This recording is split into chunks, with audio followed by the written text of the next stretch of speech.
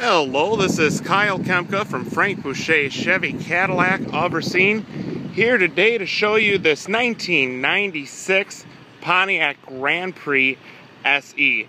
A beautiful vehicle that we got here on trade locally. You won't find a vehicle like this. A 1996 Grand Prix with only 66,000 miles on it and this vehicle is in pristine shape. No body issues, no rim issues, no mechanical issues.